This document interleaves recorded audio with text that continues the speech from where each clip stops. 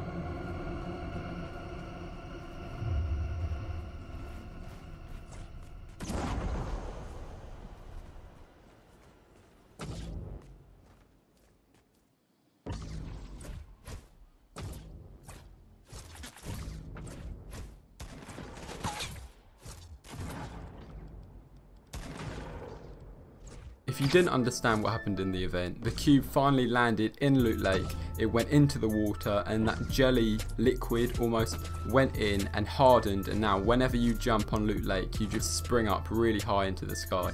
It doesn't behave like any of the zero gravity zones, it actually behaves like the top of the cube where you just jump up really high but don't take full damage. If you're curious on how high you actually go from this little special liquid, it goes up 3 walls. I know this was a really really quick video, I just wanted to get this out there so anyone that hasn't seen the event can see it live. Let the rest of the clips play, if you enjoyed please leave a like, leave a comment with what you think is going to happen next. Thanks for watching, do subscribe if you want to be a goat, see you in the next video.